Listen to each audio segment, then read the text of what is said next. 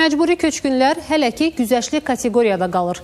Statusun ləğvi məsələsinə azad edilən torpaqlara qayıdış başlayandan sonra baxıla bilər.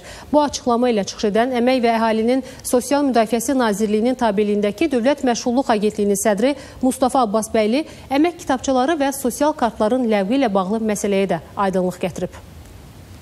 İndiyədək 2000 şəhid ailəsi üzvü və qazi məşğulluq proqramlarına cəlb edilib. Onlardan 1700-dən çox şəxs özünə məşğulluq proqramına, 254 nəfər ictimai işlərə, 35 nəfər isə əmək haqqının birgə maliyyələşdirilməsi proqramına cəlb olunub. Dövlət Məşğulluq Agentliyinin sədri Mustafa Abbasbəyli həmçinin qeyd etdi ki, bu il 16 min şəxs özünə məşğulluq proqramına cəlb ediləcək. ISO standartlarına uyğun 3000 mütəxəssisin də hazırlığı nəzərdə tutulur. Peşə hazırlığından bağlı biz bu il 3000 nəfərin ISO sertifikatlı mütəxəssis hazırlığına başlanmasını hədəfləyirik.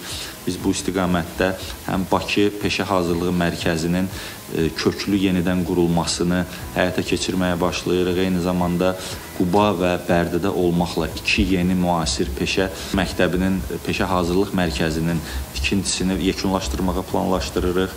Məcburi köçkünlər isə hələ ki güzəştli kateqoriyada qalır. Mustafa Abbasbəyli bildirdi ki, onların statusunun ləğv edilməsi ilə bağlı qərar Nazirlər Kabineti tərəfindən verilir. Məcburi köçkünlər işğaldan azad edilən torpaqlara qayıtdıqdan sonra bu məsələyə baxıla bilər. Agentliyin sədri Mustafa Abbasbəyli həmçinin qeyd etdi ki, əmək kitabçaları və sosial kartlar da ləğv ediləcək. Agentliyin elektron sistemlərində müvafiq uyğunlaşmalar artıq təmin olunub və qurum bu prosesə tam hazırdır. Biz mərhələli şəkildə kağız əmək müqavilələrinin ləğvini həyata keçirdik. Eyni zamanda biz əmək kitabçalarının dövriyyədən çıxarılmasını həyata keçirdik. Eyni zamanda yaxın günlərdə artıq biz sosial sığorta kartının dövriyyədən çıxarılmasını planlaşdırırıq. Onları əvəz etmək şəxsiyyət vəsiqəsinin üzərində olan bizim fin nömrələr, biz onu sosial sığorta nömrələri ilə artıq uyğunlaşdırmışıq. O nömrələr qalacaqdır o nömrələri daşıyan kartların özünə ehtiyac qalmayacaqdır. Azərbaycanda məşğulluq xəritəsi də hazırlanır. Məşğulluq xəritəsinin yaradılması məşğulluq sahəsində məlumatların operativ əldə edilməsini,